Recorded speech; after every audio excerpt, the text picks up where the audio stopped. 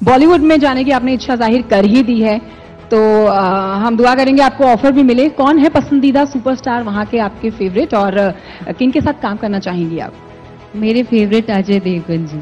अजय देवगन का कोई तो दोस्तों अजय देवगन बॉलीवुड के एक ऐसे एक्टर हैं जिनके साथ बॉलीवुड साउथ एंड और भी काफ़ी सारे इंडस्ट्री के actor actresses and producer director भी काम करना चाहते हैं। और भाई ऐसे में भी अजय देवगन ने जिन एक्टर एक्ट्रेसेस के साथ काम किया है उनका अजय देवगन के साथ काम करके प्रॉफिट ही हुआ है कभी लॉस नहीं। इसके अलावा अजय देवगन ने बॉलीवुड के अलावा साउथ से भी काफ़ी सारे एक्ट्रेसेस को लॉन्च किया है अपने फ़िल्म में उनको पहली बार काम दे करके। अब रिसेंटली दोस्तों तीन साल पहले की अक्षरा सिंह इंटरव्यू की एक वीडियो वायरल हो रही है, जहाँ पर भोजपुरी की जानी मानी एक्ट्रेस और सिंगर अक्षरा सिंह अजय देवगन को अपना फेवरेट एक्टर बताते हुए नज़र आ रही है। यहाँ तक उन्होंने अपने इंटरव्यू में यह भी बताया है कि वो अगर फ्यूचर में बॉलीवुड में काम करना चाहती है तो वो सिर्फ़ अजय देवगन के साथ ही काम करना चाहती है। कभी फ्यूचर में अगर उन्हें किसी फ़िल्म का ऑफ़र मिलता है तो अजय देवगन के साथ काम करके उन्हें काफ़ी अच्छा लगेगा। तो दोस्तों, ये देखना दिलचस्प हुआ कि अजय देवगन कभी फ्यूचर में अक्षरा सिंह के साथ बतौर लीड एक्टर और एक्ट्रेसेस के तौर पे काम करते हैं या नहीं। इसके अलावा दोस्तों रिसेंटली ही कुछ महीने पहले सुनील शेट्टी ने भी काफ़ी अच्छा स्टेटमेंट दिया था अजय देवगन और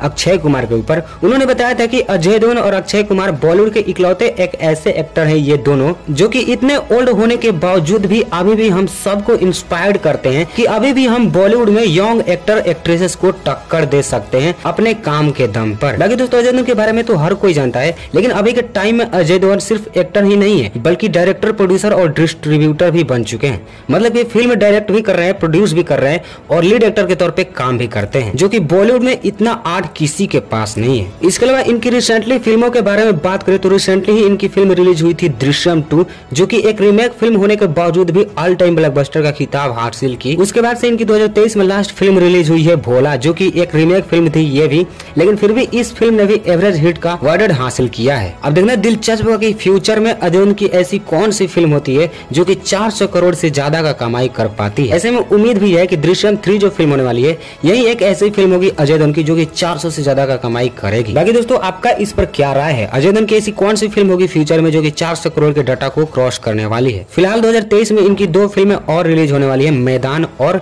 औरों में कहा दम था? बाकी आप अपना ओपिनियन ज़रूर शेयर करना कमेंट बॉक्स में। फिल्मी दुनिया से रिलेटेड अपडेट्स के लिए हमारे चैनल को ज़रूर सब्सक्राइब कर देना। मिलता है टॉपिक के साथ, तब तक के लिए थैंक यू जय हिंद।